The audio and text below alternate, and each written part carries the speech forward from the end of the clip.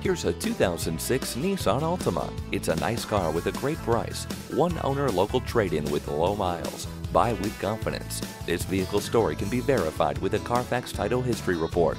Drive your family around knowing this vehicle is reliable and safe. Come by today to see this one in person. At Rusty Wallis Honda, our primary goal is to satisfy our customers. Stop in today. We're easy to find just off I 635 at Shiloh Road.